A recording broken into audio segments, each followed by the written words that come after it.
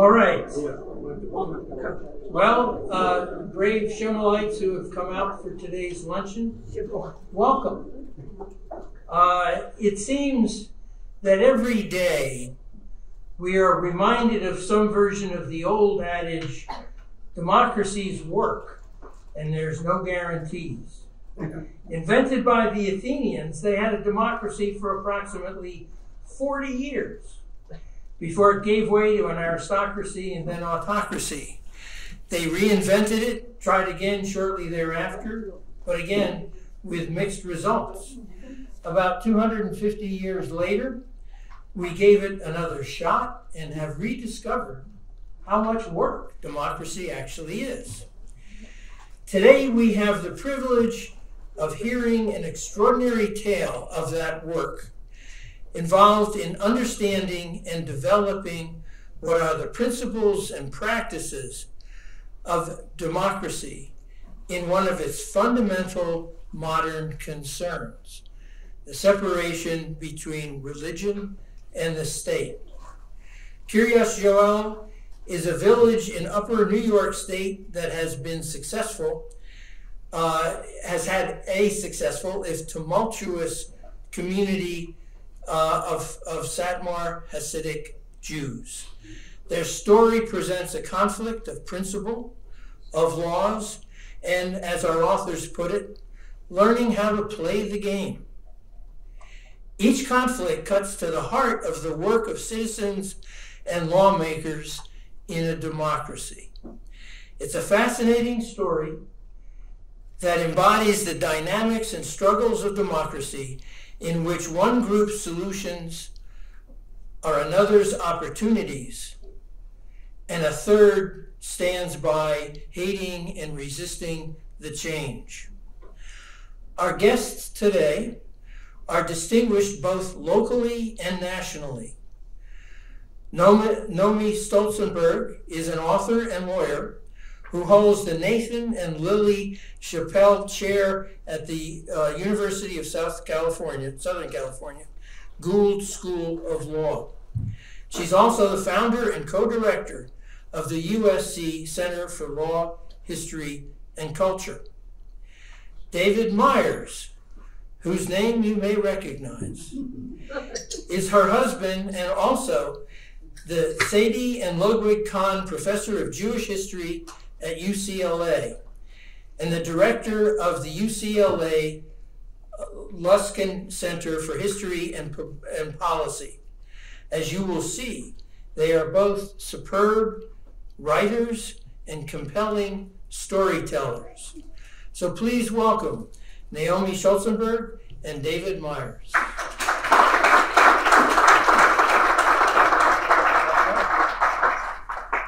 Thank you very much, Hal. Welcome, everybody. Uh, so great to be here back at the Schemel Forum. Uh, this is our Nomi's and my first uh, public appearance speaking to a live audience um, in since uh, I believe February 2020. So it's really uh, a special blessing uh, to be amongst you. Um, so we're going to talk to you about a small Jewish community in upstate New York, uh, which may, on the surface of it, not seem to be the most compelling subject. But as Hal alluded uh, to in his remarks, this is really a story uh, of much greater proportions. This is a story about democracy, it's a story about religion and state, and to a very great extent, it's a story about America um, as I think we will try, we, as we will try to make uh, abundantly clear.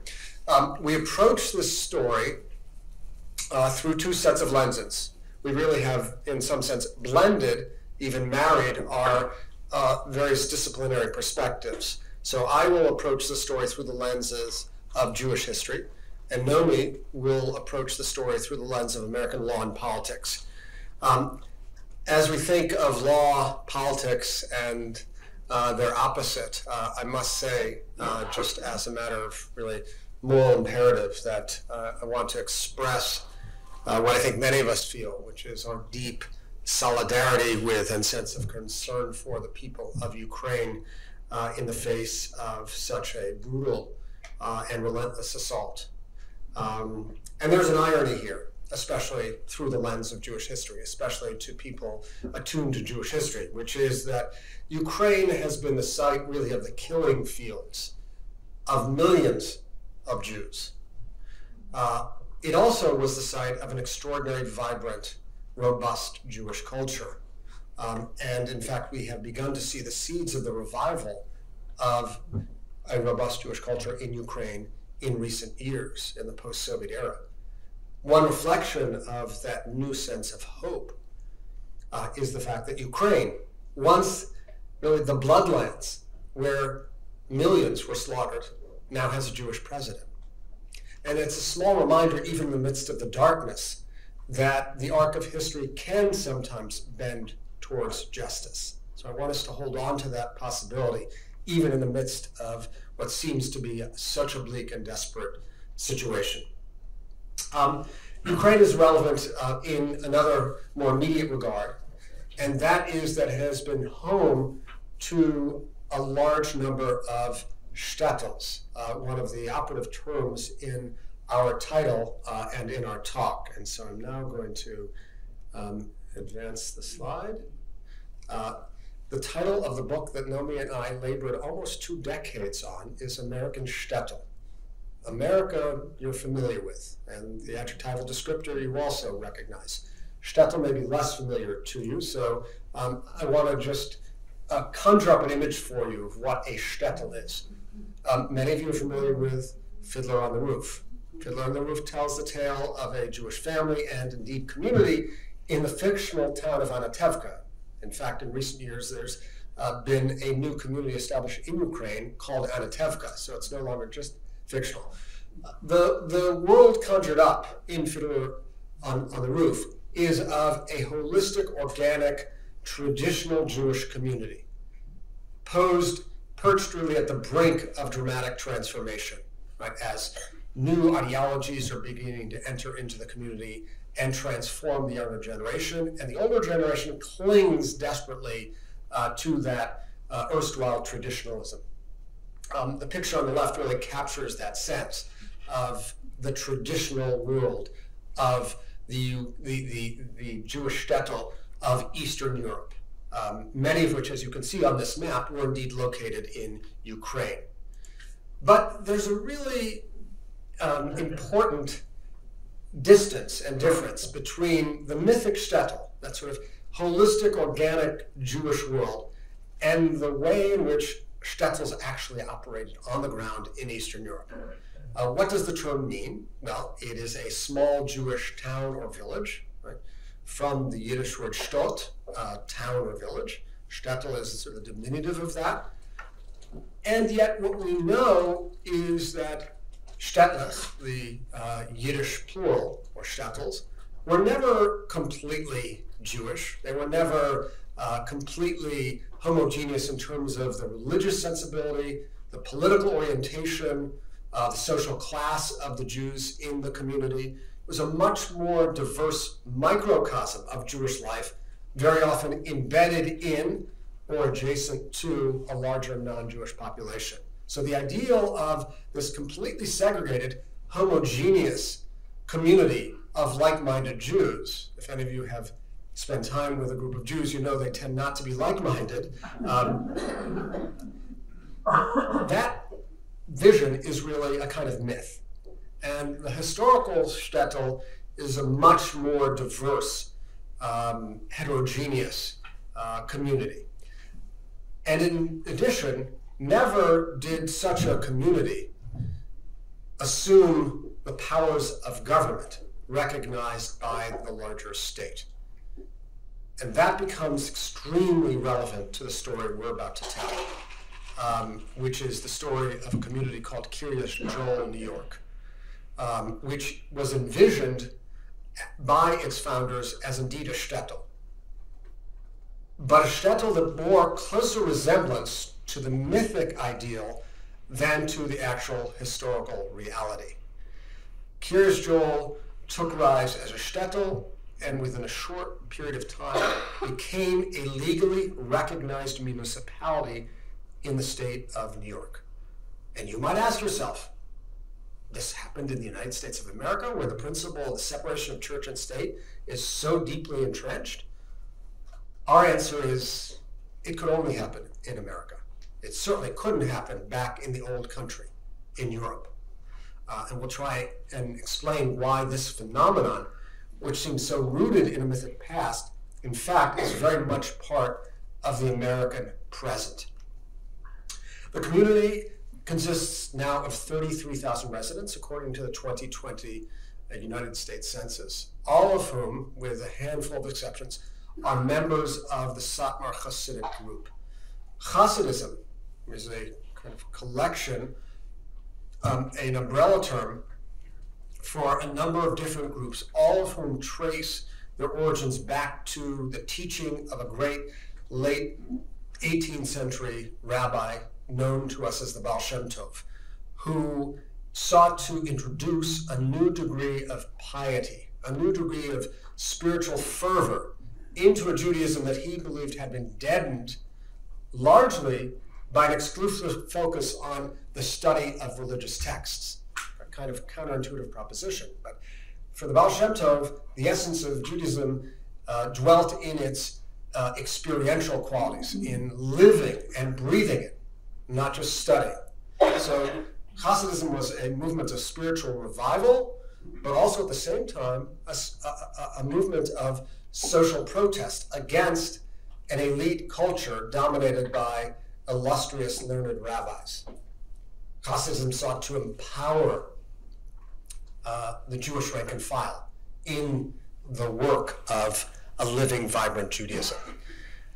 From the late 18th century, the Baal Shem Tov's message spread out throughout different parts of Eastern Europe, and in uh, places where the message took hold, usually there was a, a, chief interpreter of that message, the chief, the rabbi, but known uh, as the Rebbe, known by, by the sort of Yiddishized version of the term rabbi as the Rebbe, who was very often a charismatic interpreter of the Baal Shem Tov's uh, message, uh, who was indeed understood to possess very unique powers, very uncommon for uh, Jewish rabbis, except for an interesting rabbi who took rise in the first century in Palestine, which is to say, Hasidic rabbis were understood to possess the capacity to communicate uh, with the divine uh, something that uh, was anathema to many other versions uh, of uh, Jewish religious expression. The Satmar group was one of the latest forms of Hasidism. It too had a charismatic Rebbe at the center. Um, and as we will see, that Rebbe had the vision when he came to America of creating uh, a separatist enclave outside of the city where his followers could live their lives according to their own preferred uh, methods. As I said, live according to the path of the ancient Israel. So that enclave was created, and for reasons that we will explain, um, within a few years, it became not just a shtetl, but a legally recognized village, um, known as the village of Kiryas Joel, which means the village of Joel, named after someone we will encounter in a second, and more recently, in 2019, that village became, for all intents and purposes, a town um, uh, known as Palm Tree, which uh, is uh, a name of some significance. It happens to be the English translation of the name Teitelbaum. So keep att- pay attention to Joel and Teitelbaum uh, as we move forward. Where is this community? This shtetl, this group of uh, homogeneous Jews that became a legally recognized village. It's about 50 miles north of New York City, uh, located in Orange County. Um, uh, there are, uh, uh, are, a lot of interpretations about whether this constitutes upstate New York or not. Um, some would say absolutely. Anything north of New York City is by definition upstate. If you live in Syracuse, you may have a different understanding of that question. Um, and as as I mentioned, the, the community was named after a person named Joel, and the name Palm Tree uh, is a translation for the term Teitelbaum, and this is the dramatic personality at the center of our story, the charismatic Rebbe of the Satmar Hasidic group, Rabbi Joel Teitelbaum. Born in East Central Europe in the northeast quadrant of the Austro-Hungarian Empire in 1887, scion of a very distinguished Hasidic family, from Hungary, uh, which was the incubator of a very fierce form of traditionalist Orthodox Judaism known as Haredi Judaism, uh, a word that means trembling, um, as if one trembles with uh, awe in the presence of God. So intent was one on realizing uh, the vision of understanding the will of God. The Teitelbaum family was um, was characterized by its commitment to fight against forces of contamination and impurity in the world, and they believed that much of the modern world was indeed a source of contamination and impurity. Life for them in everyday daily existence was life lived in extremis. It was life lived in a state of emergency because of the threats that the modern world uh, presented. Um, the family and Joel Teitelbaum the most renowned member of this uh, family, were fierce opponents of all form of innovation, uh, particularly religious innovation, which they said is forbidden as a matter of Torah. Um, and very interestingly, Rabbi Teitelbaum was uh, also perhaps the most renowned and in some circles reviled Jewish opponent of Zionism that the 20th century ever saw uh, Rabbi Teitelbaum's opposition to Zionism rested on the proposition that movement, mass movement to the land of Israel by Jews should, should take place only with the coming of the Messiah.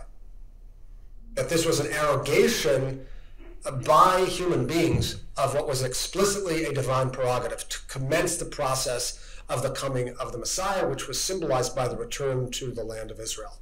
Um, and Rabbi Teitelbaum uh, fulminated against Zionism uh, throughout his career, and including in two famous Hebrew books, um, which uh, we can discuss further. Um, he established his own community in what had been the Hungarian uh, town of Satmar, which after 1920 and the sort of the reorganization of the map of Europe following the First World War, now Romania, the Romanian town of Satu Mare, he himself was elected town rabbi in 1928 in Satu Mare or Satmar, hence the name of the group, but didn't assume office until 1934. And there, from 1934 until 1944, he built up his community of followers while also serving as uh, the town rabbi.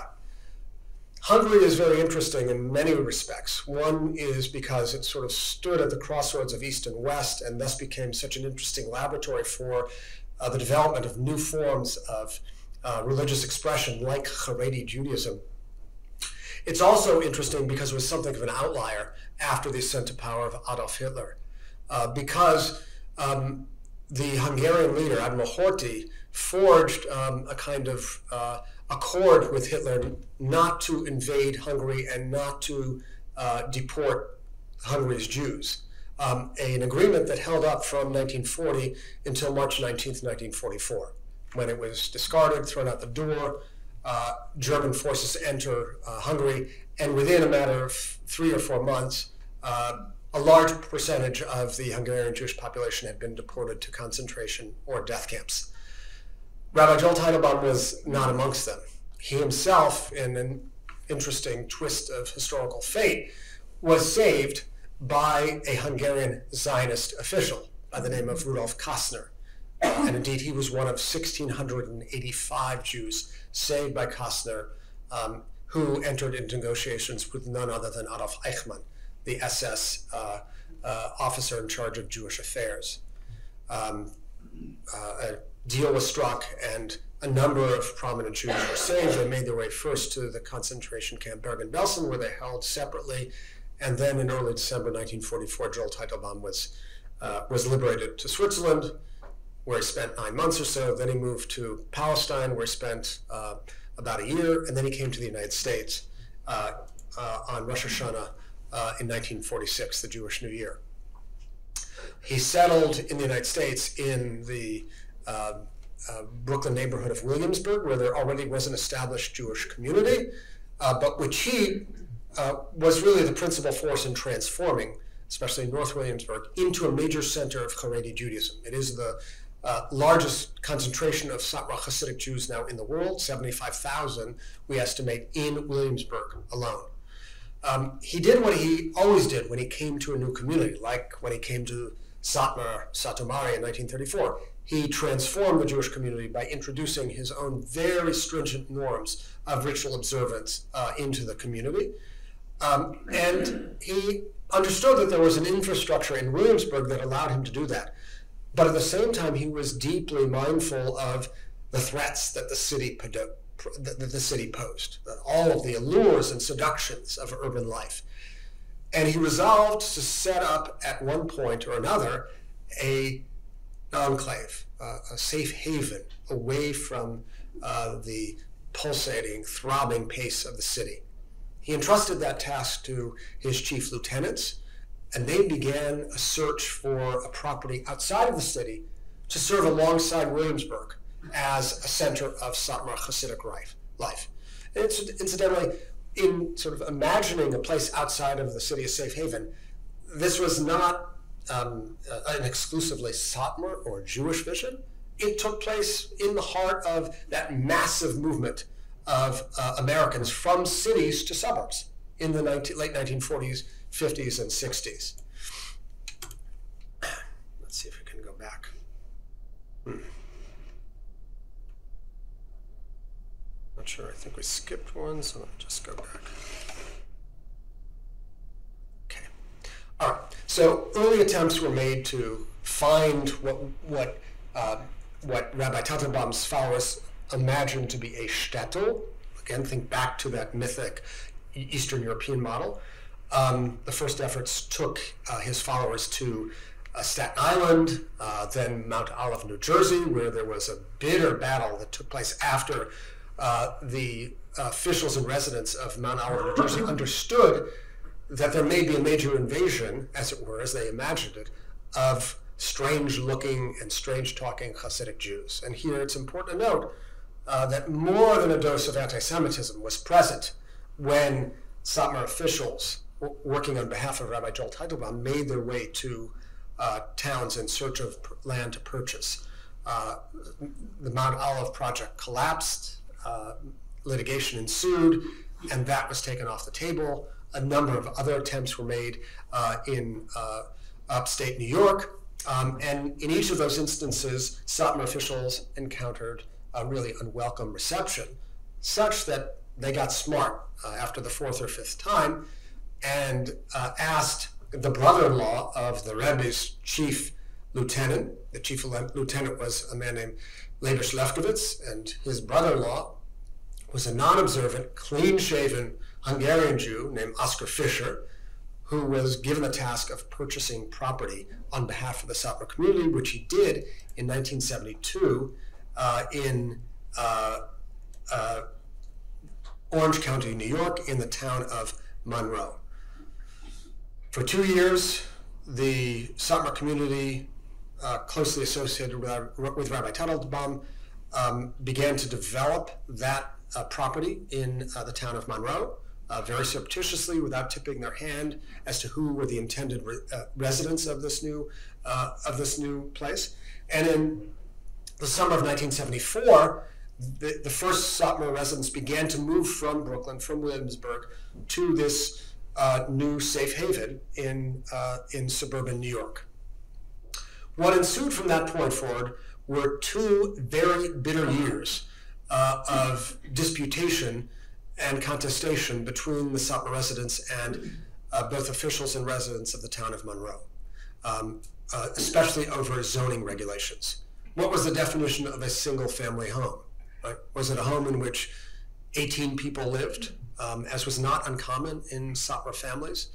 Uh, was it permissible to have um, a kindergarten or a ritual bath or a matzah bakery in the basement of a garden apartment?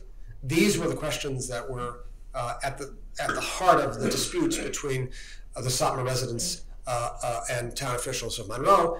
And at the point that it seemed like litigation over religious discrimination in federal court was to take place, uh, and a deal was hatched in a late night meeting one Saturday night, October 23rd, 1976, to create within the town of Monroe a, an autonomous village to be known as Kiryas Joel that would have the ability to regulate its own zoning affairs.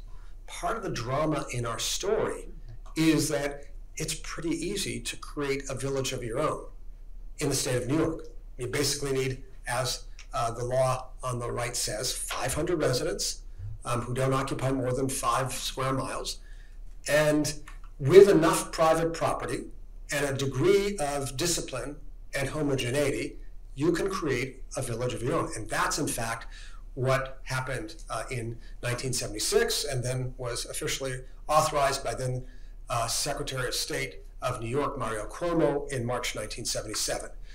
What had been a shtetl, uh, a, a, place of spiritual refuge, had become now a legally recognized municipality uh, in the state of New York. Um, there are many indicators of the success of this community, not just in establishing itself, but ever since. And perhaps the foremost measure of success is the astonishing growth of the community. Certainly the fastest, fastest growing community in the state of New York and in some decades in the United States. So the community began with 2,000 residents according to the 1980 uh, census, and there are 33,000 residents in the year 2020. There's a 62% growth in the population from 2010 to 2020. So according to that measure, especially for a community whose ranks were depleted during the Holocaust, right? Uh, some 75% of uh, the Jewish population of Satu Mare, of Satmar, was, uh, was deported and murdered uh, in uh, concentration death camps. The imperative to replenish the ranks uh, is front and center. Not only is there massive population growth, but there's a tremendous degree of homogeneity.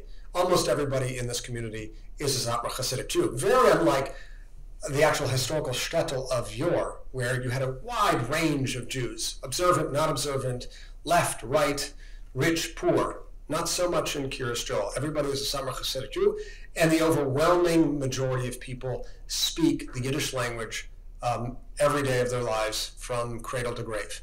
96% uh, of the community declared that uh, they spoke a language other than English at home, um, which we can safely assume to be Yiddish. Uh, education is taken very seriously. There's a very uh, rich network of private religious uh, schools in the community. But as you will see, virtually no one goes to university, which is in many respects the reverse of the American Jewish profile outside of the community, where university attendance is amongst the highest of any group in uh, American society.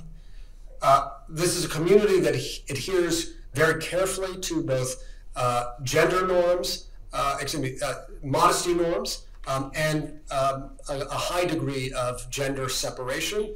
Um, some of you perhaps have seen the sign that greets visitors who come to Kiryas Joel, uh, which enjoins all to observe, the, observe those modesty laws and maintain gender separation, as you see in the third line. Um, and another, and this is deemed by the community, the sort of uniform adherence to these norms is deemed very much a measure of success.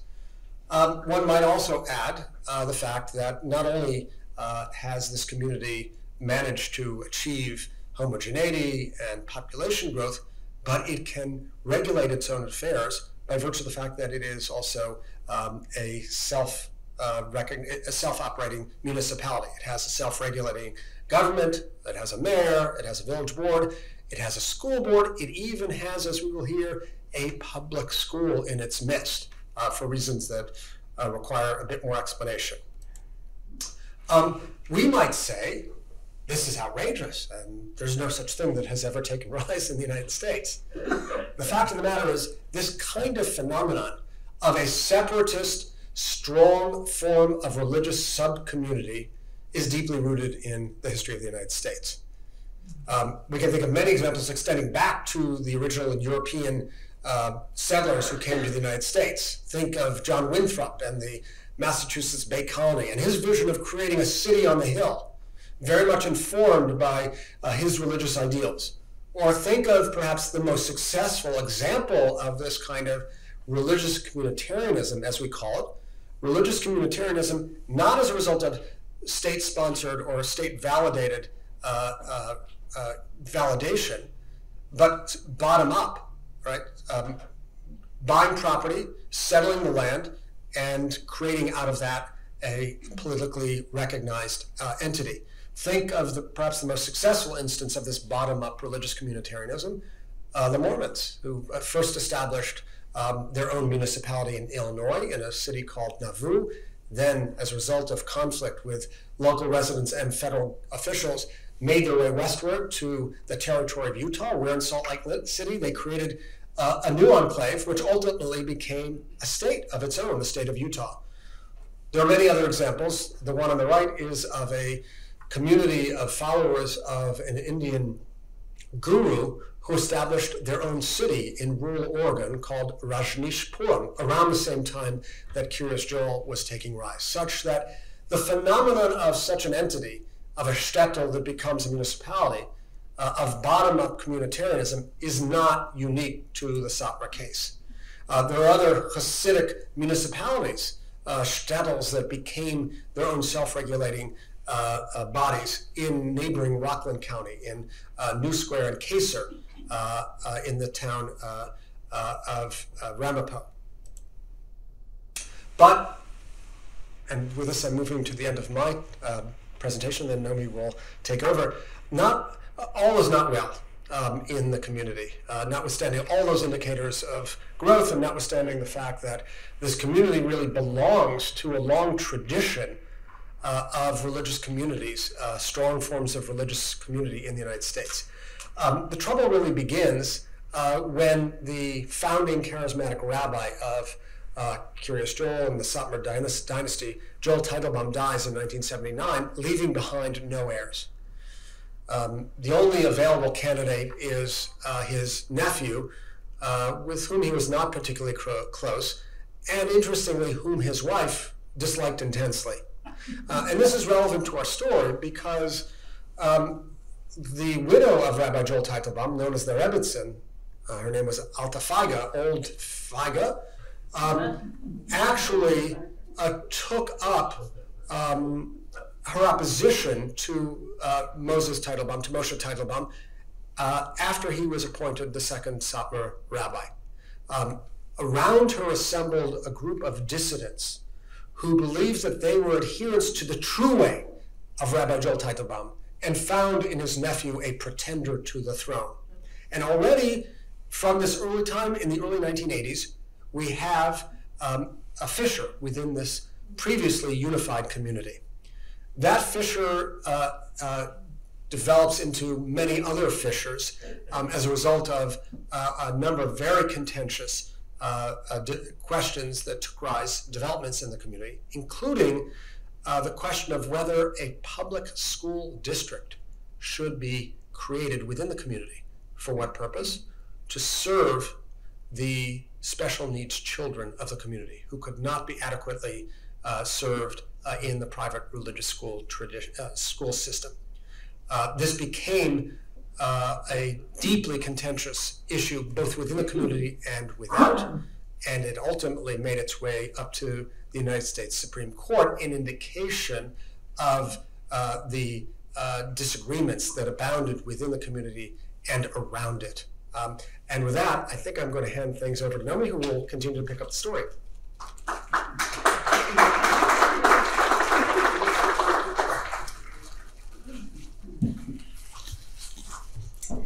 So David has told the, the origin story of Kiryas Joel, or KJ, as it's oftentimes referred to, set in the context um, of European Jew Jewish history, going all the way back to its origins um, in Europe. But the Satmar story, as David has already said, is as much an American story as it is a Jewish story. It's a story about changes that were occurring in American society and struggles over the meaning of America's foundational principles that were occurring just at the time when the village was being formed. Two changes in particular proved to be particularly propitious for the Satmar's separatist project. First, over the course of the 1970s and 1980s, America was undergoing a retreat from its commitment, such as it was or is, to integration. In hindsight, the period in which integrationism was dominant uh, appears to have been short lived.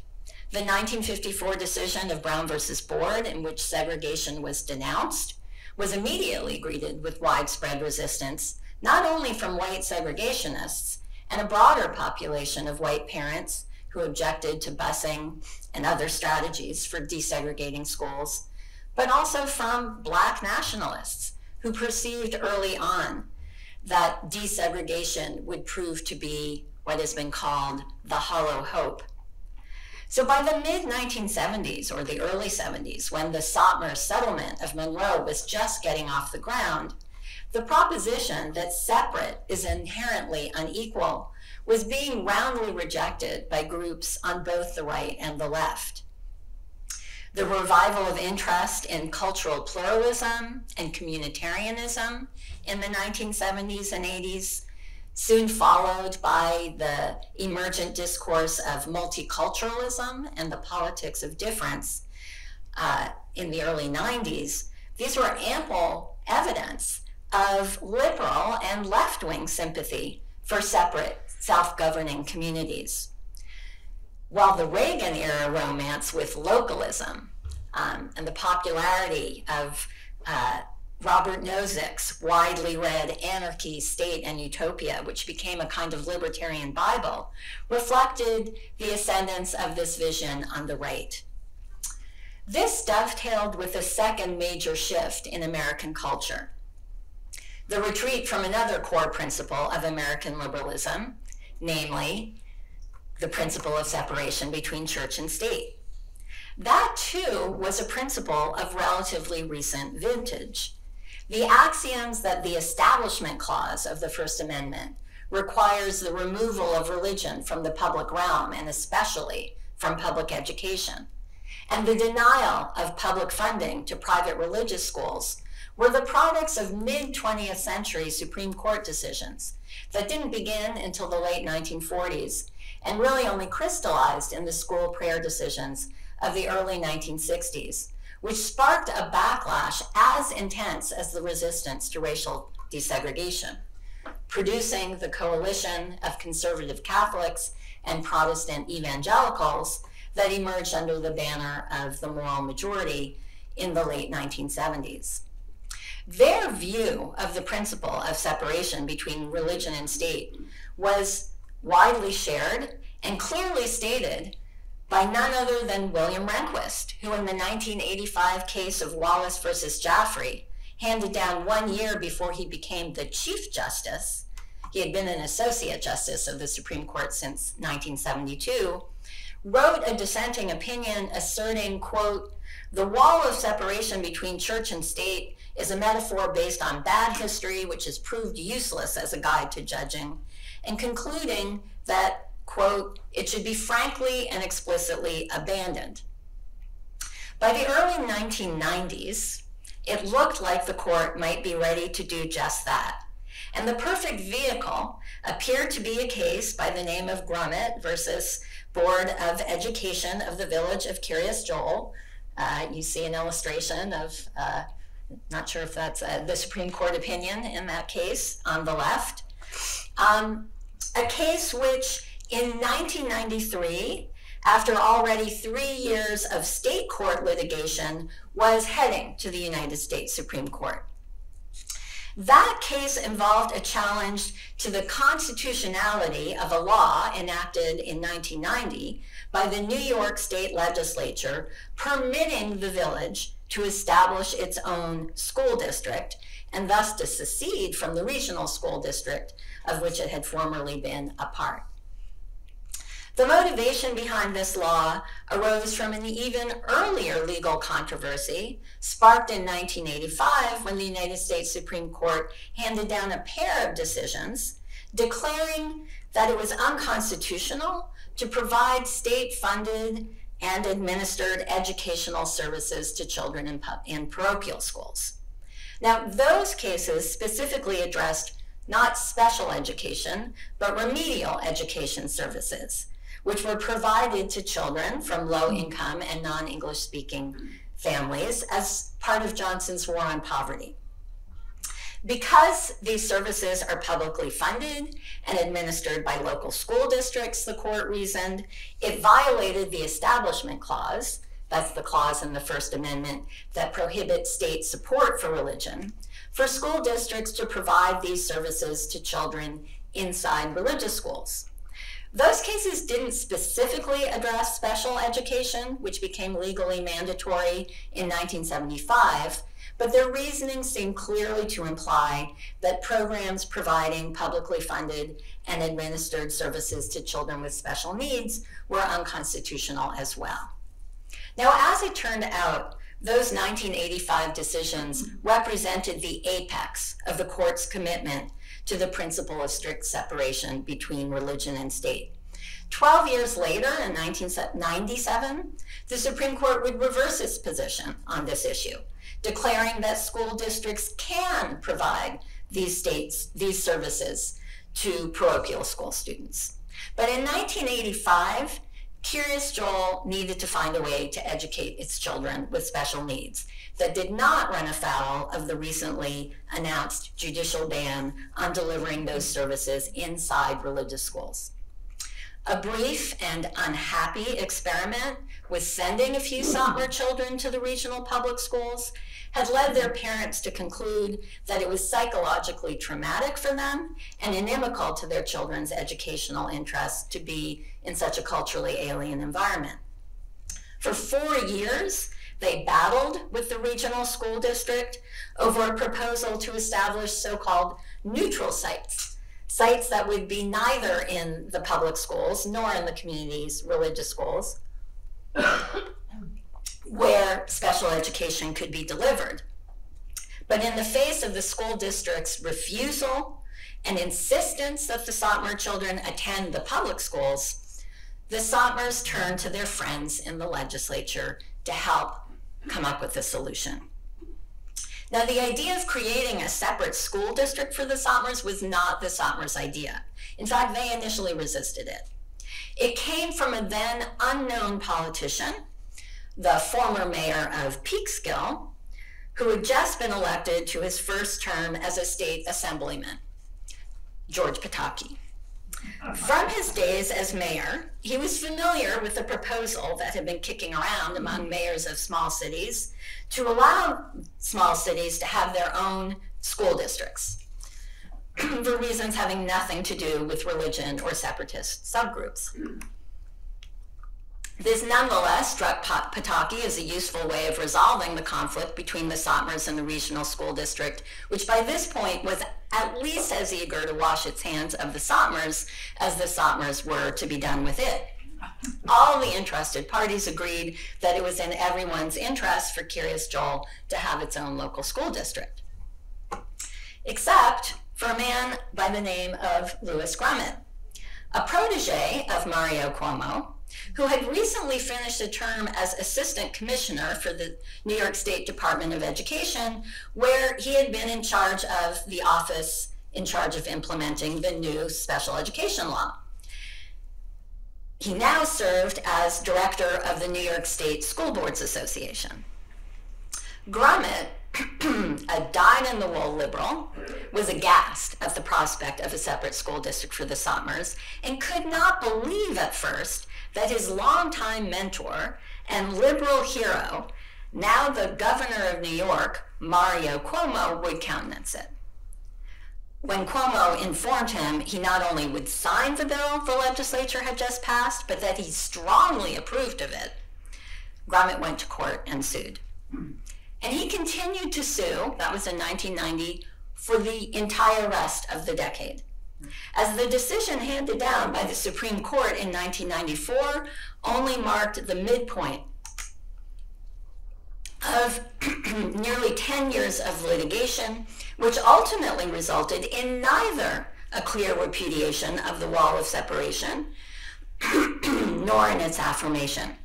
Nor did it result in a conclusive determination of the KJ School District's constitutionality, though thanks to an early ruling from Justice Thomas on what we now would call the shadow docket, the school district was permitted to remain in operation pending the outcome of the litigation.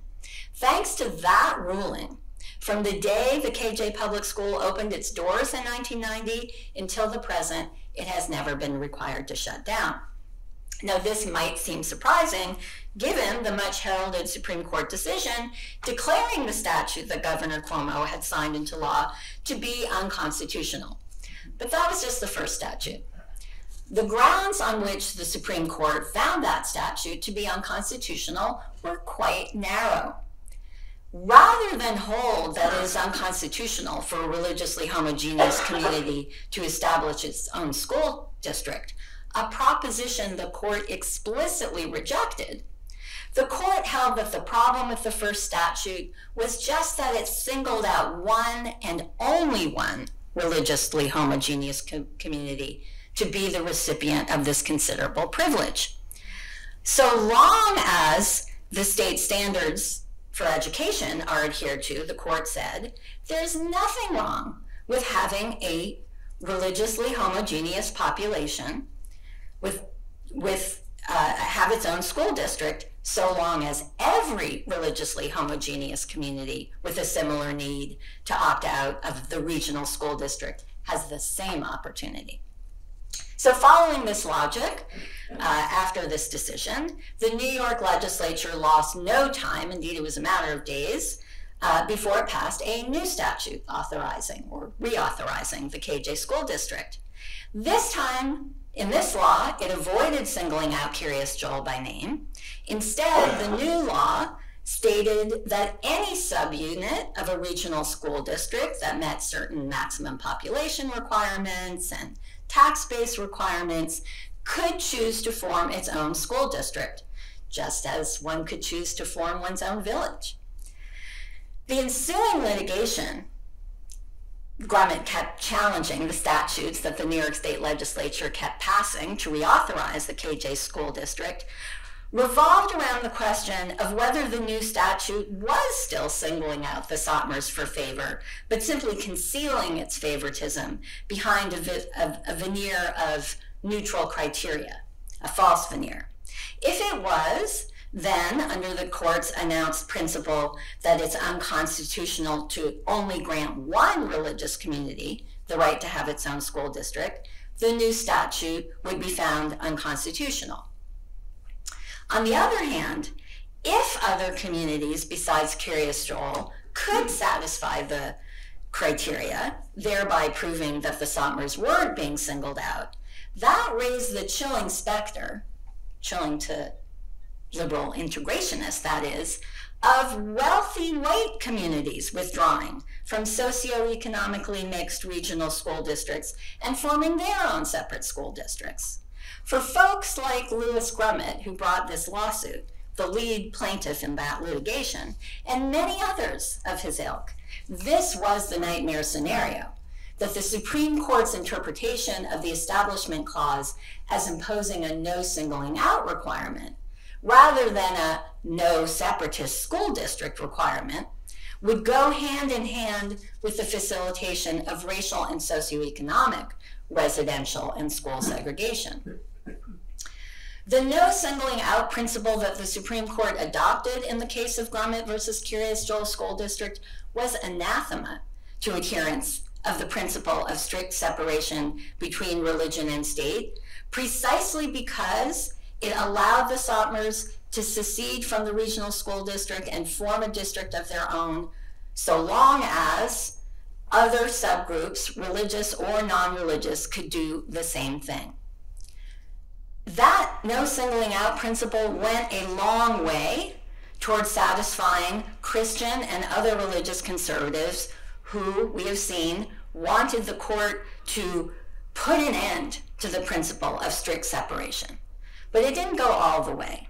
It did not amount to the full-scale denunciation of the wall of separation idea that Chief Rehnquist had called for in 1985, and that many conservative Christian organizations had hoped the court would issue in the Grumet case.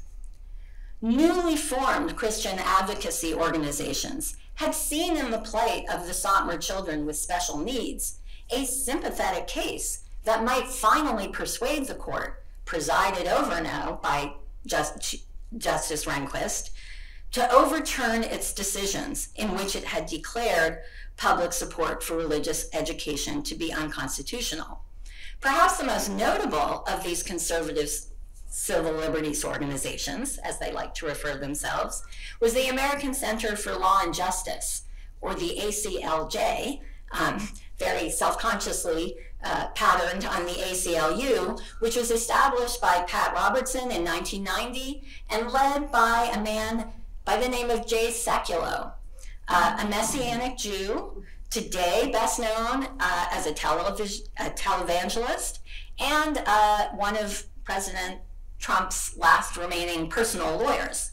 Um, back then, Sekulow was a largely unknown, but he had already scored the religious right's first legal victory in a case requiring school districts that allow community groups uh, to use public school facilities after hours to grant the same opportunity to religious groups, the no singling out principle.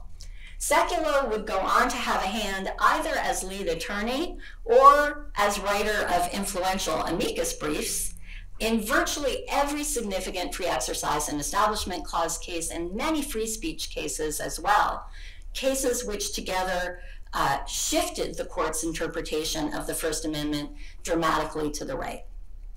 But in 1994, when the Satmar case went up to the Supreme Court, it was still in the early stages of the battle. Rehnquist's position that the principle of separation between religion and state was not really in the Constitution had become axiomatic among religious conservatives, but on the court it was still a minority position supported only by Justices Antonin Scalia and Clarence Thomas. The no singling out principle, by contrast, constituted a kind of halfway position between the principle of strict separation between religion and state and a direct repudiation of the principle. And it created, its adoption created a constitutional climate that was ultimately exceedingly hospitable to the Satmar's religious separatist project. Now, that case was hardly the Satmar's only foray into the American legal system. Indeed, at just the same time that the controversy over special education first began to develop in the mid 1980s, the event that dramatically increased the internal political dissension in, inside the village took place namely the appointment of Moshe, the new Rebbe's eldest son Aaron, to be the chief rabbi of Kiryas Joel. Already in the late 1980s, uh, as David referred to the initial resistance to the acceptance of Moshe, the circle of supporters who had clustered around the Rebbetzin, the, the, the first Rebbe's widow, they had initiated court proceedings proceedings designed to establish uh, title and control over valuable real estate assets in both Brooklyn and Kiryas Joel. The Satmar establishment had retaliated by expelling them from the congregation, denying them access to the cemetery, and suing them for wrongfully conveying title to properties that the congregation claimed rightfully belonged to it.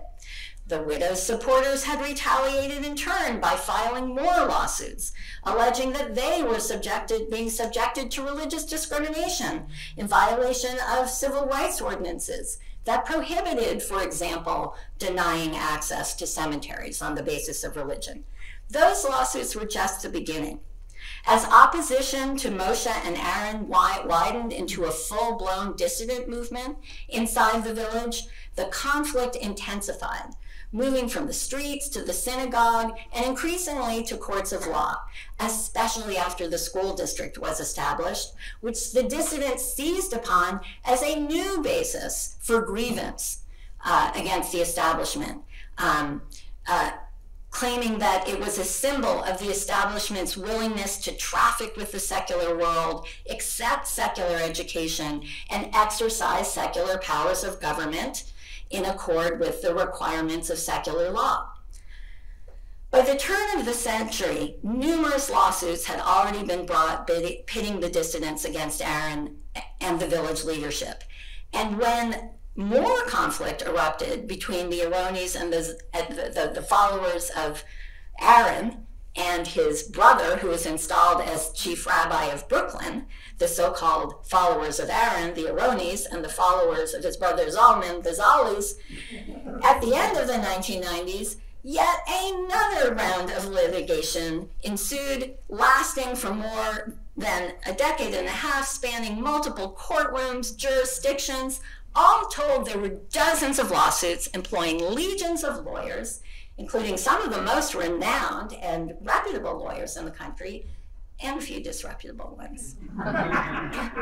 now, this volume of litigation is particularly remarkable because the Satmars profess to be committed to the traditional Jewish principle that internal disputes should never be brought before Gentile courts. Rather, they maintain or profess to maintain that internal disputes should be adjudicated by rabbinical courts in accordance with Jewish law. Now, time is too short even to begin to summarize all the strands of this tangled skein of litigation, which took literally years to unravel. So, one case, um, not even the case over there, um, but a related case on the right side, may suffice to at least indicate the complexities of the Satmar's legal positions and of the position of American law vis a vis the Satmars and their separatist institutions. This particular case which is the last thing I'm going to share with you. It was not the first case to seek an adjudication of the internal political conflicts by a secular court, and it was far from the last, but it was arguably the most fateful. How are we doing on time? How much longer do we have? Okay. So filed under the name of the dissident congregation known as Chal Harayim. This was a lawsuit that began as a simple dis- zoning dispute, uh, a challenge to a stop order that was issued against a single construction project, um, a, a, conversion of a private dwelling into what the dissidents envisaged would become their own grand synagogue. Except that nothing is simple in Kiryas Joel.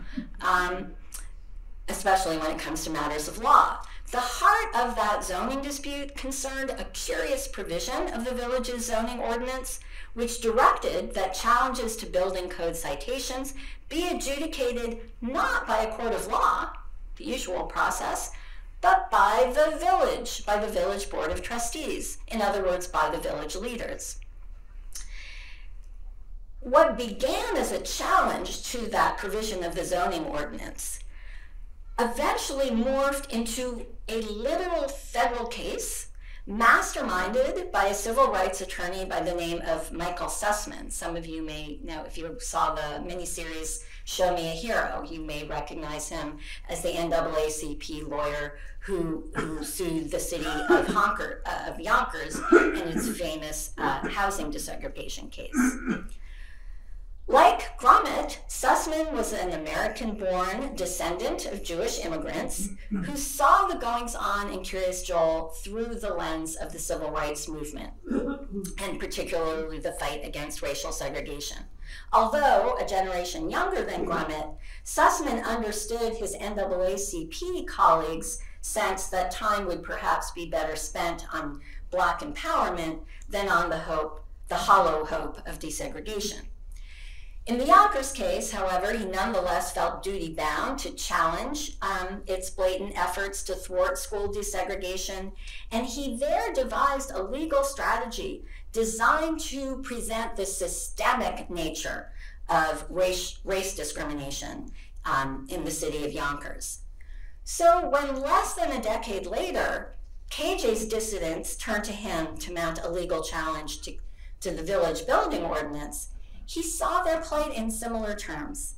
He saw them, he saw the dissidents as a minority being subjected to systemic discrimination by a municipality.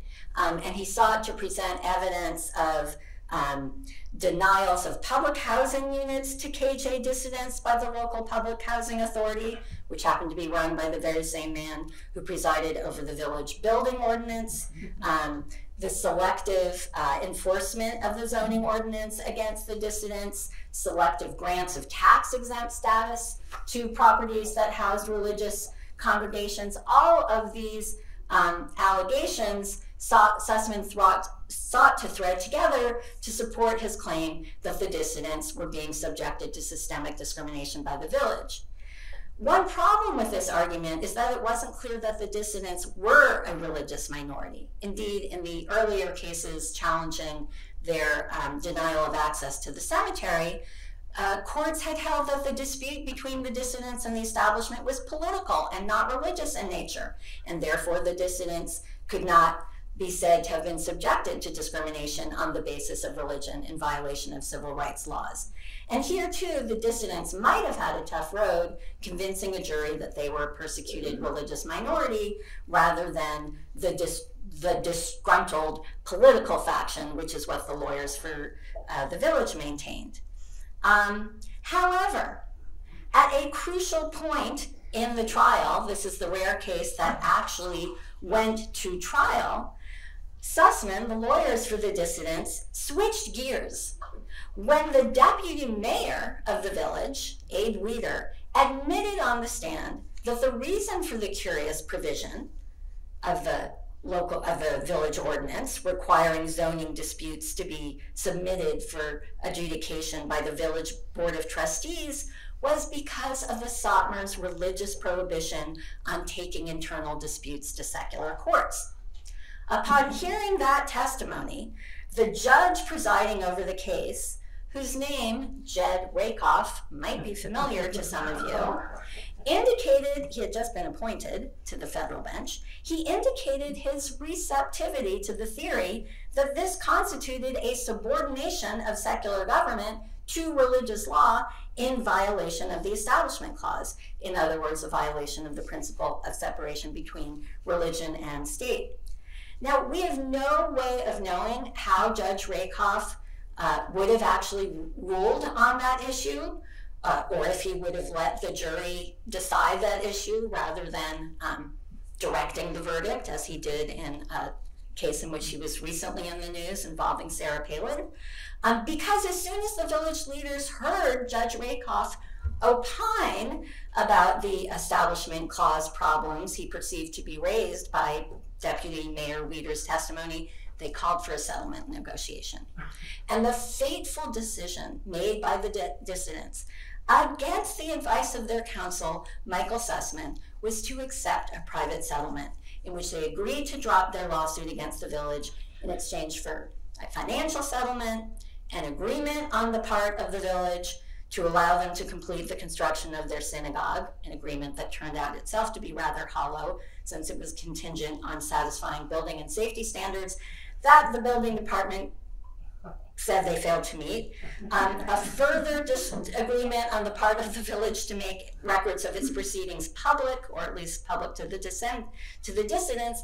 And last but not least, a critical provision of the settlement the parties agreed to was the dissidents agreed to submit all future disputes with the establishment faction to arbitration by the rabbinic courts and not to go to secular court. Well, that settlement immediately broke down, and within weeks, both sides were back in court, each accusing the other of violating the terms of the settlement and seeking permission from the judge to resume litigation.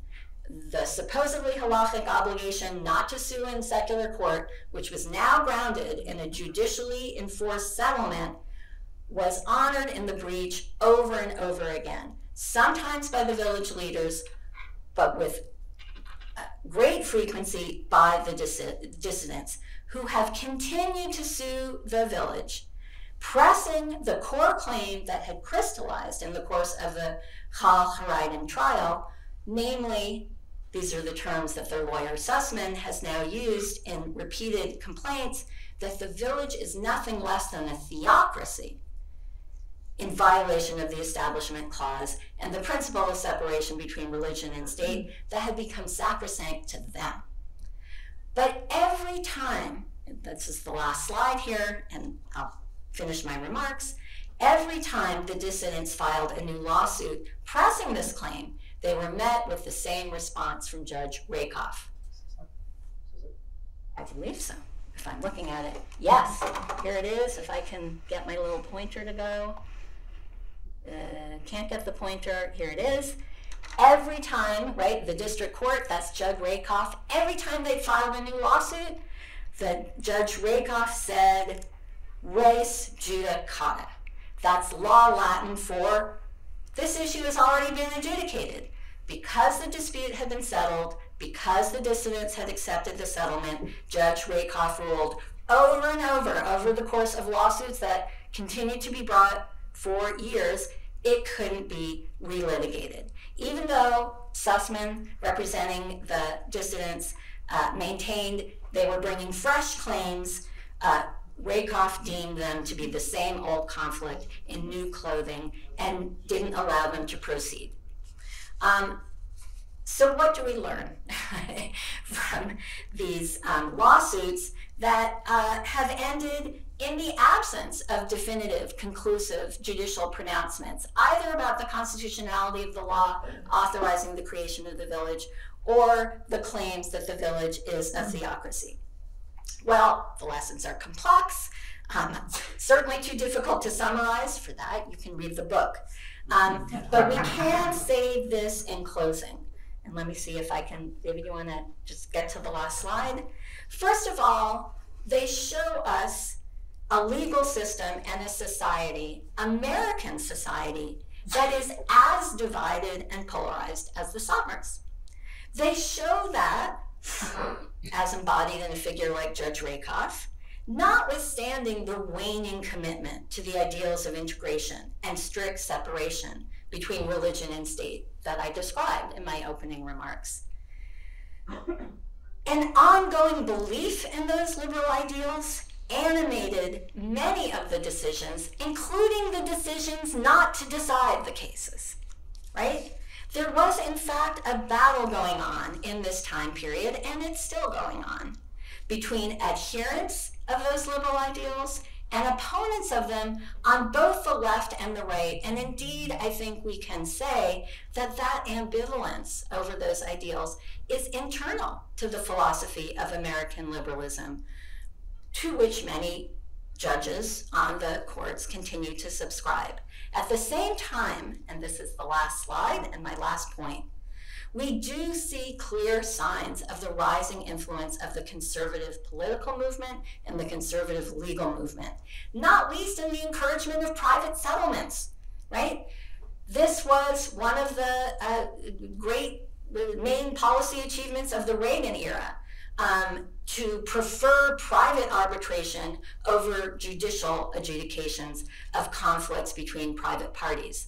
That was a policy um, aggressively promoted by the business wing of the conservative movement um, and promoted by not only the Reagan administration but succeeding uh, administrations as well. And under the aegis of private ar arbitration, religious courts have been authorized and encouraged to resolve disputes. Um, so we can see how these changes in American legal culture are conducive to the Satmars separatist project, even when there are some Satmars seeking the court's help in resisting some of the forms that project took. We can also see the role that the Satmars and the idea of the shtetl that they so materially embody have played in the American legal and political imagination, in particular the conservative legal imagination. So consider this address delivered by Lewis Powell less than a year before he was appointed to the bench. Many of you, I wager, are familiar with uh, the so called Powell memo, which appears on uh, the right now I see it moved, um, which was an address to the Chamber of Commerce that Powell gave um, in 1971, the year before he was appointed to the bench, which is widely regarded as having laid out the blueprint for the conservative movement. Um, and it was chiefly focused, as you can see, it really represented the business wing of the conservative moment, um, the idea that America's system of free enterprise is under assault, um, and that the, the, the, mission was to combat that, um, which was done so very successfully. Less familiar to people is an address to a congregation of American lawyers. I realize it's hard to read this. Reprinted here, it says Mr. Justice Powell delivered the prayer breakfast address in San Francisco to a large congregation of American lawyers and their families. Uh, this is before the national prayer breakfast had become a thing that presidents do. That occurred in the 80s. Um, but that, all of this was the product of a prayer breakfast um, movement. Um, and here, this is the same year that, that, that Powell gave his actually then secret address to the Chamber of Commerce, laying out um, the blueprint for rescuing America's free enterprise system from socialists and communists. That same year, at this prayer breakfast, he invokes, quote, the sense of belonging. These are his words, portrayed nostalgically in the film Fiddler on the Roof, the film version of the show that debuted on Broadway, um, had just come out that year. Those who saw it will remember the village of Anatevka in the last faint traces of sunset on Sabbath Eve. And then he goes on, after this sort of lavish description, to talk, to say, sadly, this is not the portrait of contemporary American life. So what we see here is that the imaginary shtetl had become an emblem for the conservative movement that fused together its business and social conservative wing. The Satmars benefited from the erosion of the commitment to the ideals of integration and strict separation between religion and state, and the commitment to private settlements of disputes. But they not only were the beneficiaries of these changes, they also played an important role in bringing these changes about.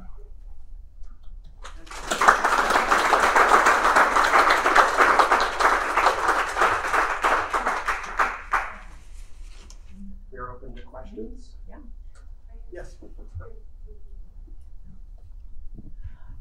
Hi. Uh, at this point, there have been two generations uh, who have been raised in that school system in Kiryas Joel. And my question is if most of them don't attend college, uh, is this sustainable for them? Where do they work? Do they pay taxes? Um, do they leave? Do they rebel? It's uh, they have been indoctrinated within their own um, religious area there. Do they ever want to break away? Or if they stay, financially, is it sustainable? Well, that's a very, very good question. Um, this is a poor community in the 2010 census, Joel was the poorest community in America, 60.1% below the poverty line. Uh, that number has dropped to about 45% in the 2020 uh, census, which indicates um, a rising middle class within the community, but still high rates of poverty. And it should be noted that um, you can earn sixty or seventy thousand dollars and fall below the poverty line if you have somewhere between 10 and 15 children, which is not uncommon in the community. Wow is it sustainable? Well, the rate of growth would suggest it's highly sustainable. Um, a 62% uh, growth in population over a decade is, is quite astonishing. And according to uh, various demographic projections, the community will be anywhere from 75,000 to 150,000 by the year 2040 at its current rate of growth. Um, that said, there is a small and we suspect rising number of people who leave the community because they find it uh, not only difficult but um, impossible, even suffocating to dwell within the strictures of the community. Uh, that's a very small percentage of the overall population. what we see really in that sense are two vectors moving in opposite directions. We see ongoing growth within the community at a rather astonishing clip, and uh, a growing number of people exiting the community um, who no longer feel they can stay within its uh, confines. A key factor here is access to the internet. The internet has sort of cracked open uh, the world. It has sort of eviscerated borders that once existed. Um, and for a small, but I think rising number of people, access to the outside world via the internet um, has been uh, really, in a certain sense, a pathway out. I suspect that as we move forward, um, we're going to see both of those vectors uh, fortified. Um, both a, a, larger number of people leaving, and in a certain sense, in response to that, in a response to the threat of the dissolution of the community, a growing commitment to populate within.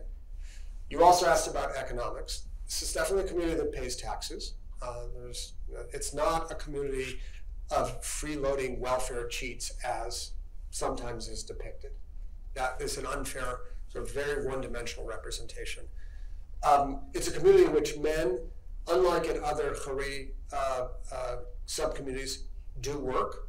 Um, uh, they're called upon to work. That was indeed an important uh, imperative of Joel Teitelbaum that men in the community work, and an increasing number of women work, even though they spend a very large percentage of their time giving birth to children. Procreation is considered a really sacred mission. Um, the largest employer in town is the private school district. Uh, about a quarter of the community exits uh, to go into New York City uh, to uh, work there. Um, and uh, an equal number of people work in very small businesses uh, around town. Um, what, what this suggests is a high um, standard of living is not necessary to sustain large families. Um, and as, as, as far as I can project, um, I see nothing shattering the model, uh, suggesting that the community will become less sustainable over the next quarter century. Uh, have you had any reaction from Kiryas Joel to your work, to your book? And if you have, could you tell us what kind of reaction you've yeah. had? So a large, probably the you know the overwhelming majority of people in the community would have no interest in the book. Um, it would um, reflect you know a perspective that just wouldn't be of much interest to them. And aren't supposed to read secular literature. But there is within the community, um, I mean, here's what's important to state. People are people. Satmar Hasidim are people. Some are curious, some are less curious. Some are, you know, avid readers, some are less avid readers. We've encountered many people interested not just in their community and its uh, its its success, but in our perspective on the community. Uh, so there are definitely people who were very interested in what brings us to study this community. And a number of them have read the book.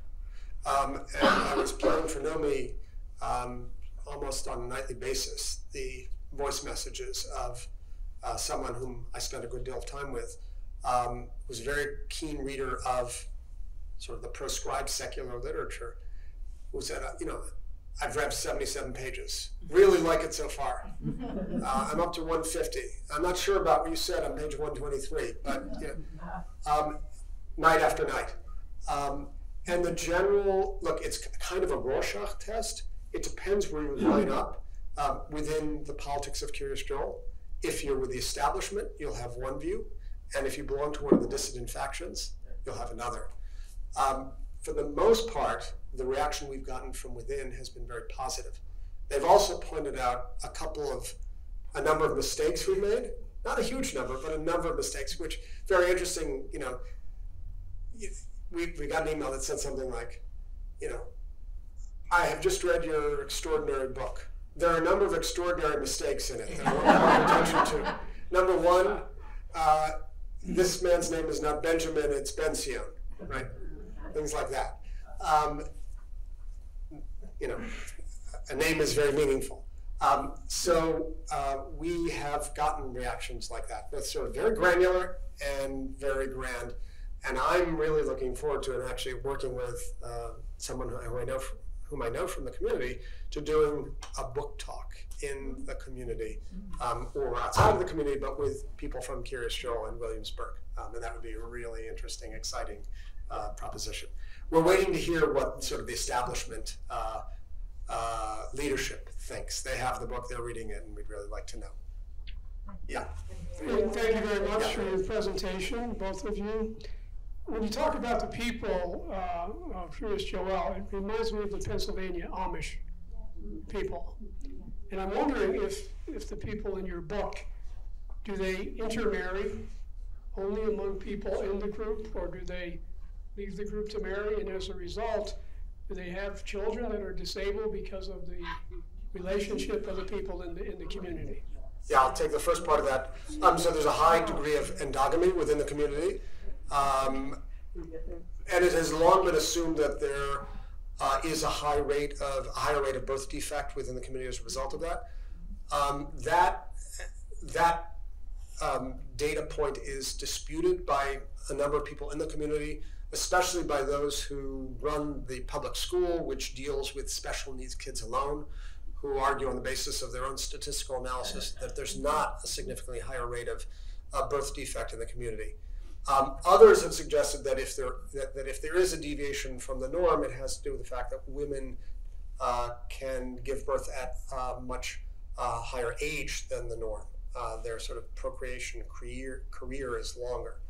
Um, it's still subject to investigation, but from what we sort of my inclination to say not significantly higher than the general population. And, and, regarding the comparison to the Amish, it's very well taken. You know, there are both Christian and Jewish versions of what's essentially a shared separatist theology, and so there are many commonalities in terms of being dedicated to withdrawal from the world and purity and resistance to modernity. But the crucial difference is Amish and Mennonite communities did not seek to incorporate their own municipalities or form their own public entities like school districts. One of the key points here is that this community, um, and this is sort of a central thesis of the book, plays the game of American interest group politics as well as mm-hmm. any group known.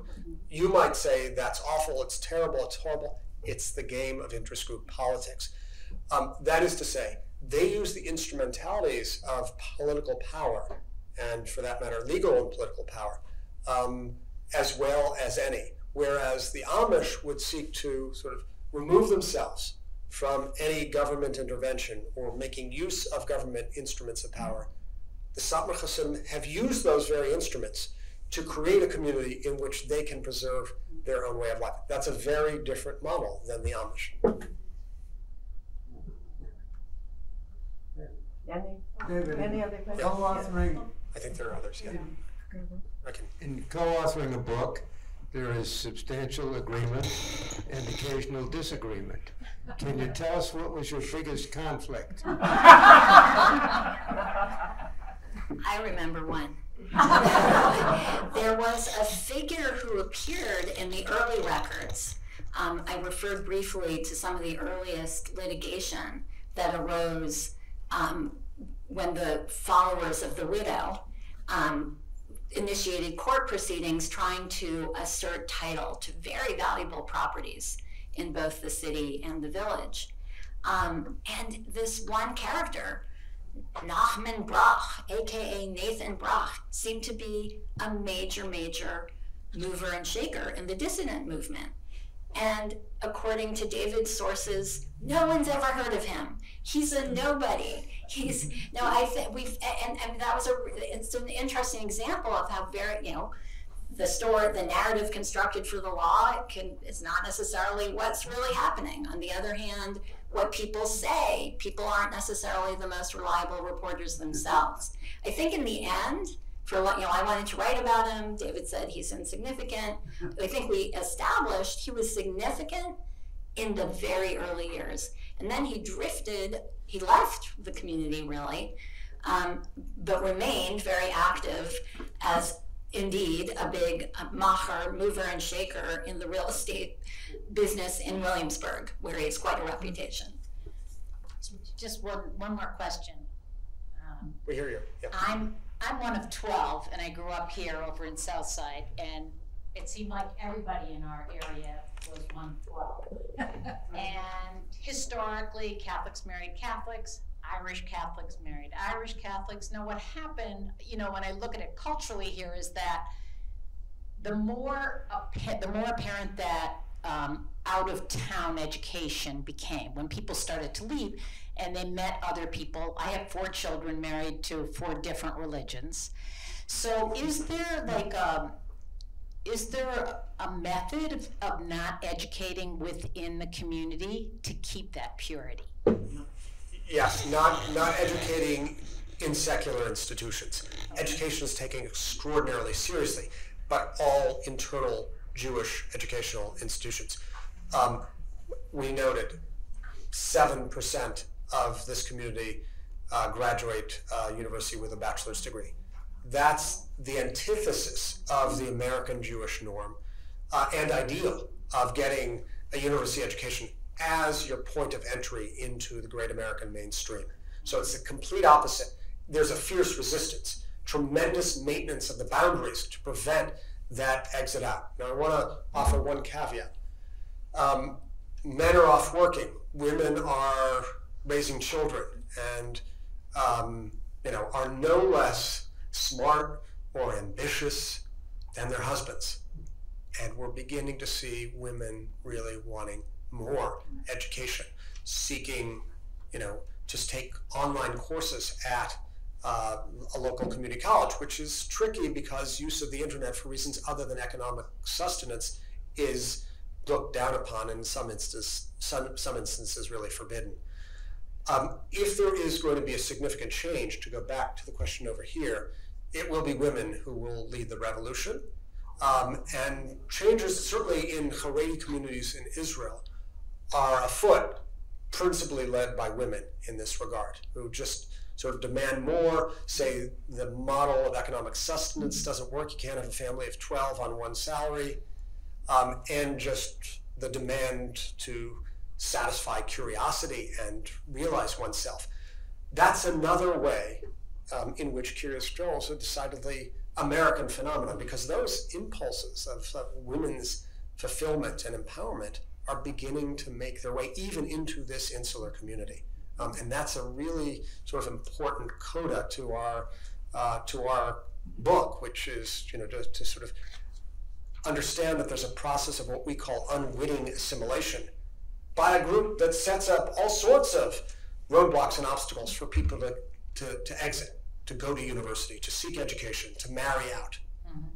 But it's And, and prior to marriage, girls and boys are completely sheltered from exposure to the outside world and to one another, right? Boy, so, so it's very controlled and clearly a major uh, raison d'etre for those controls is precisely to make sure no one meets and is attracted to someone outside the community. My father, my father tried that too, but thank you.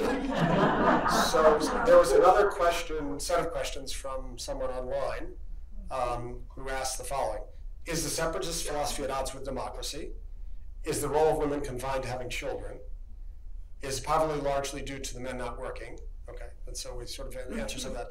And is there any ongoing relationship between Kiryas Joel and Israel? And are they sympathetic and supportive of the settlements, in particular with Kiryas Joel's desire for more land to expand themselves? So, do you want to take on the sep- democracy question, separatism and democracy? Uh, yeah, well, as their introduction emphasized, this really is a story about democracy, and that's a tricky question. As David showed on an earlier slide, the way in which this separatist community and any separatist community can create its own separate local government of, by, and for that insular group of people, all you have to do is buy and settle a piece of property. Now, not everyone has the resources to do that, but those who do, then it's the mechanisms of democracy, of local democracy, that permit that conversion. It's a question of majority vote, right? You get enough votes to put a petition on the ballot, the petition's on the ballot. Does a majority of residents want to incorporate or not? Now, we see that phenomenon more broadly, right? We talk about illiberal democracies. Many of the most illiberal, authoritarian governments have been produced by election, right? So, so now you get hard questions, right? Democracy isn't reducible to elections and majority votes, but now you're going to get into some very long-winded discussions about, well, then how should we do? What is a definition of democracy that's not reducible to majority vote?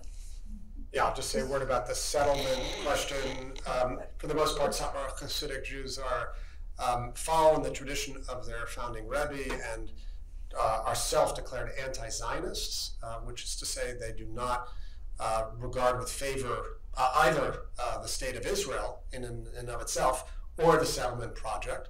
Um, my own sense is that sort of the passion of their anti-Zionism is uh, is diminishing somewhat over time as interaction between uh, ultra-Orthodox Haredi Jews in Israel and uh, and the United States increases.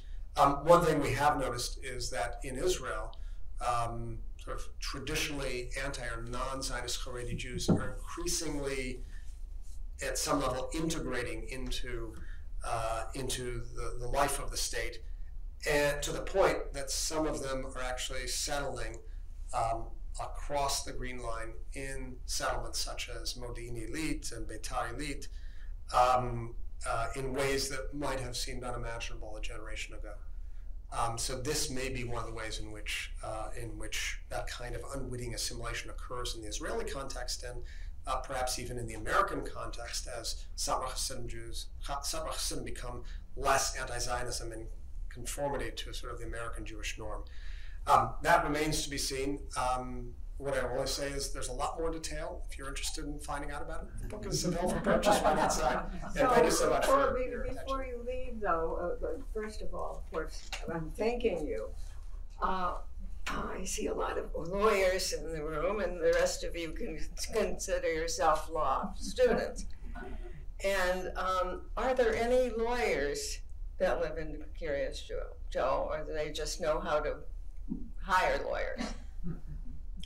No, I mean, as David said, they shun higher education. They Yeah. shun the pursuit of professional degrees.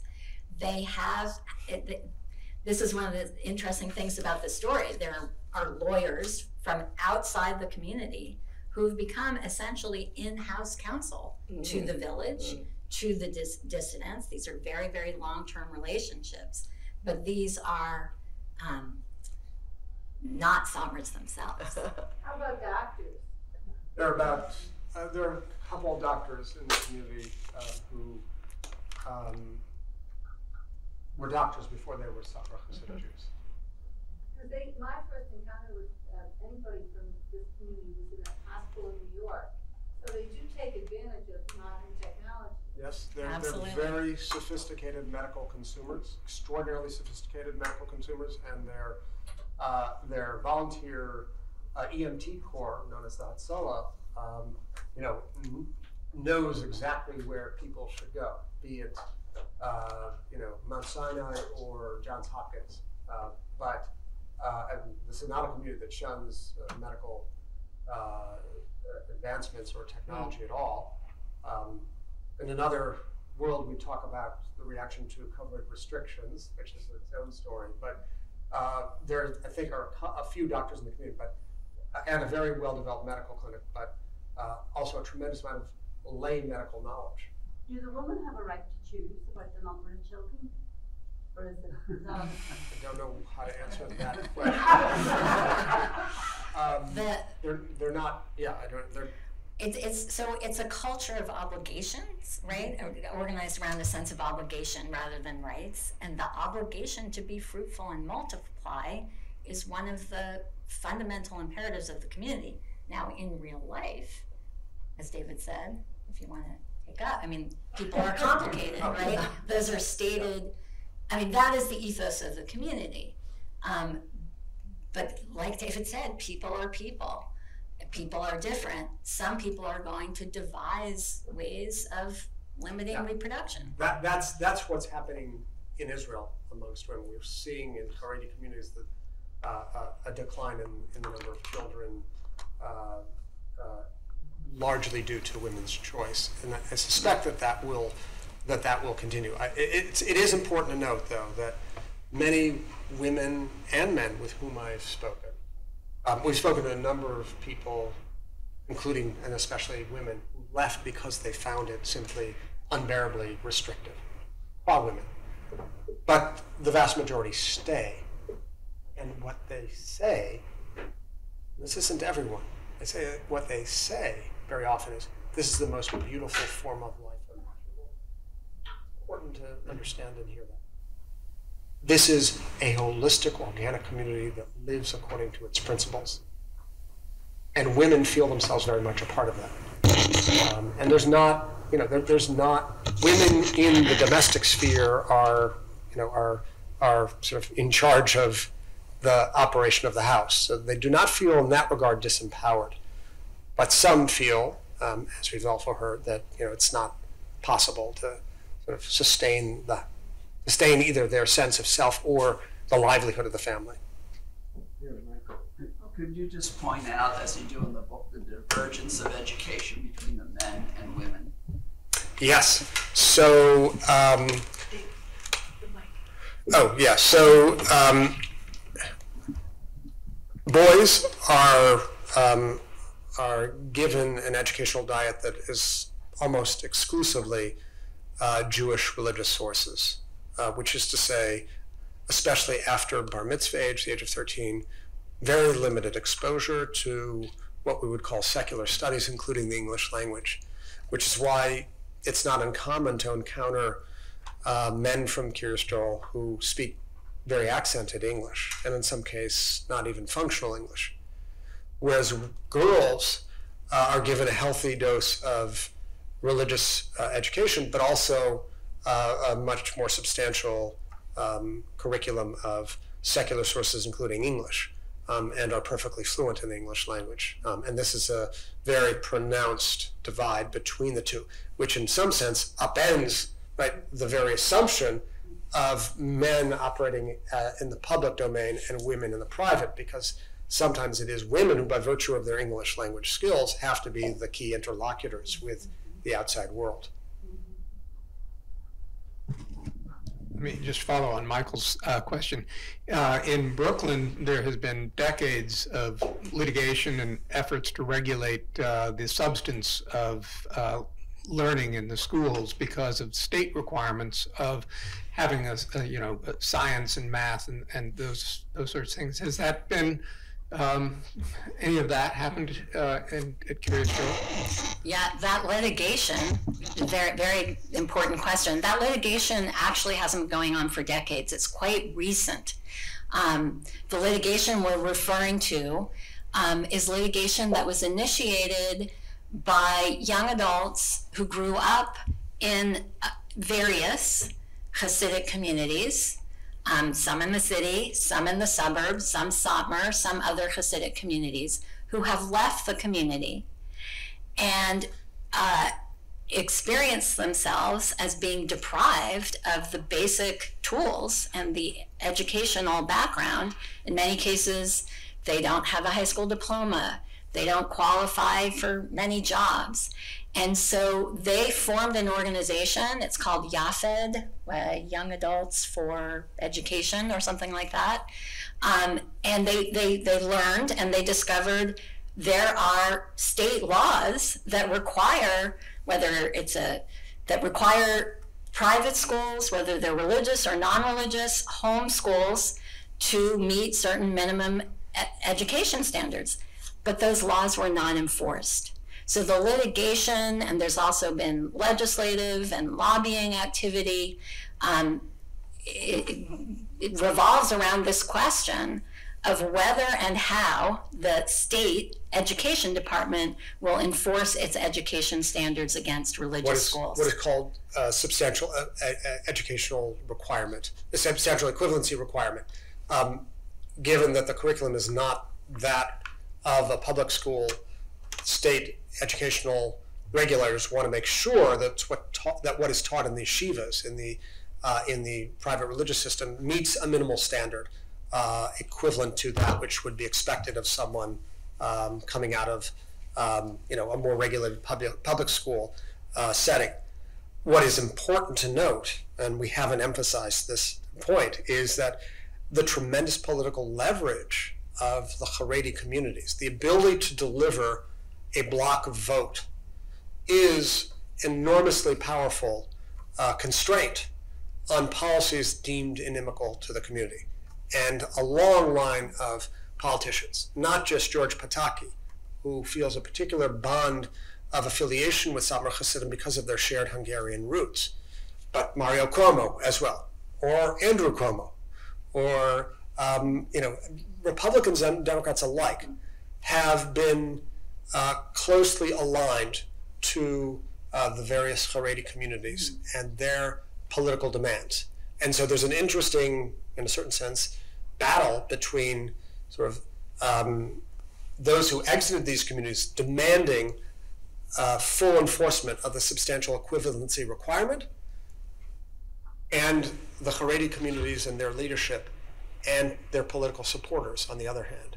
Um, and that is what is you know going to be playing out in the courts. And the and the issue goes well beyond the any Jewish community, as you might imagine, homeschoolers and parochial school communities are siding with the Satmars. And it really, we spoke about the comparison with the Amish.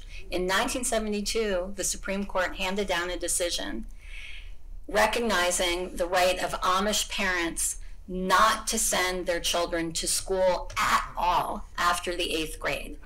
It was a challenge to compulsory education laws, and the Supreme Court basically said, as a matter of your religious liberty, you have a right to be exempt from, from compulsory education. Justice Douglas wrote a very famous dissent in which he lamented the impact that this protection of the parents' rights would have on what he perceived as the children's rights. And he talked about um, the harm that he thought would be done to children by depriving them of what he called exposure to the new and amazing world of diversity. So there's a conflict between the child's right to access to that new and amazing or not so new, the world of diversity, and and that question has just been left hanging for decades, for half a century. And it's only now with the emergence of organizations like YAFED that courts and legislatures are being forced to confront this question that they've done their darndest to avoid for a very long time. Yeah, Has the special education system benefit benefited because of all that litigation? Mm-hmm. It is remarkable the special the, the, the quality of special education that is delivered to the children by the public school in Kiryas Joel is truly truly exemplary. Has anyone use the microphone? Has anyone within the community sought public office outside the community and what do public officials do in political campaigning within the community? No one has sought political office outside of the community, but political officials make their way on a near daily basis to the community to seek the uh, the validation and uh, and affirmation of the uh, particularly religious leadership of Kiryas Joel, knowing that at least um, you know over the long haul of this community, uh, the Rebbe's uh, uh, validation meant a very substantial block vote. Um, so uh, this is one of the ways in which sort of the door has been open to the importation of values from the host society that might otherwise not be welcome. Political engagement is a daily process in this community. No one has sought in this community electoral office outside. But there is a very interesting kind of parallel case with which Kiryas with which Kiryas Joel is often confused, and that is the school board of the community of East Ramapo, New York. Um, East Ramapo is um, a school district um, uh, in uh, uh, in the town of Ramapo um, uh, in Rockland County, um, which was basically um, uh, occupied by a group of Orthodox Jews. That is, to say they pulled, got out the block vote. They were elected to office, notwithstanding the fact that none of uh, the school board members from this Orthodox slate had kids in uh, the public school district. They did so in order to guarantee that the school district provide for the private schools in the community, including the Jewish, especially the Jewish private schools, um, in ways that they deemed adequate. Part of what that meant was that the public school system was significantly defunded. So that's an example uh, that is different from Kiryas Joel, right? That's where um, a slate of uh, Orthodox Jews, in a sense, took over the school board in order to divert funds to the private school district. What Kiryas Joel did was, in some sense, not just different, but breathtaking. They created their own municipality, and then they created their own public school, right? A different model, uh, kind of um, a model that combines all of the skill and ingenuity of intergroup politics in the name of a separatist institution. Well, thank you. and uh, I think uh, I have a feeling that we could name this Only in America. Thank you, everybody. I'll see you next week, 24th. Um, uh, Professor Logaval uh, will be here, and he you'll see what he has written about, right, talking about. But he's also assured me that he would be talking about Ukraine. So don't miss it. Thank you.